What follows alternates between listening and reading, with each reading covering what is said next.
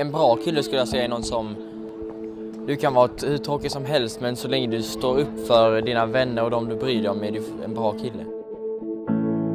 Skarhult gör det igen. Alltså ännu en fullträff kan man säga. Det har varit eh, spot on när det gäller rubrikerna på de här utställningarna varje år.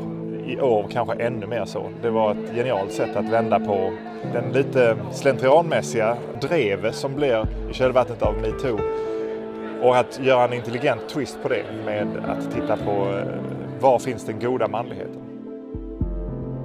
Välkomna hit till Skarhult denna fantastiska majdag.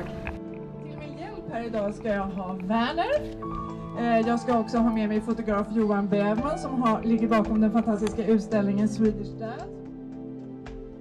Så här är det, jag älskar män. I hela mitt liv har jag haft män som hobby. Eh, och det började med när jag var fyra år.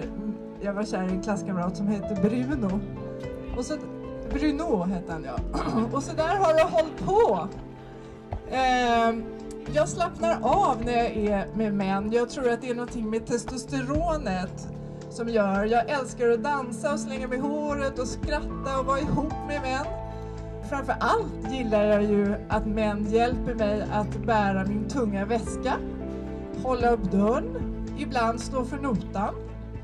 Men mest av allt gillar jag ju männen i min familj, Karl-Johan och Werner. Eh, och hela den här idén med You Go Boy kom i höstas när jag satt och tittade på dig vid köksbordet.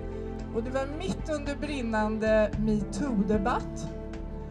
Och jag undrade vad som försiggick i ditt huvud när du bara fick höra att män är svin, män våldtar, män kastar ut döttrar från balkongen. Ja, vad händer med en pojke när han bara får höra You go girl! Eller Who run the world? Girls! Vem säger You go boy? Och där och då bestämde jag, vi ska säga You Girl Boy. I fyra år har vi ägnat oss åt att ge unga flickor eh, förebilder. Visa att kvinnorna har spelat en viktig roll i vår historia. Och nu tyckte jag att i år är det pojkarnas tur. Så här på Skarhult så kommer ni att, uppe i den historiska utställningen, att vandra en historisk promenad från riddare i rustning till surdegsbakande lattefarser. Jag kommer berätta mer om det alldeles strax, men jag tänkte jag skulle börja här med dig Werner. Hur känns det? Det känns eh, bra, kul att se så mycket folk. Ja, jag har fått frågan här flera gånger om jag har behövt övertala dig till att ställa upp här på affischen och liksom tala. Om du är tvingad att göra det här? Eh, alltså, nej, inte...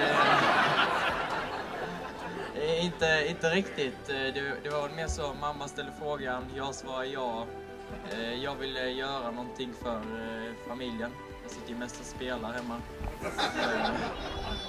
Det var dags nu. Vem är den gode mannen? Den gode mannen är här på Skarhult och tar del av den här utställningen skulle jag säga.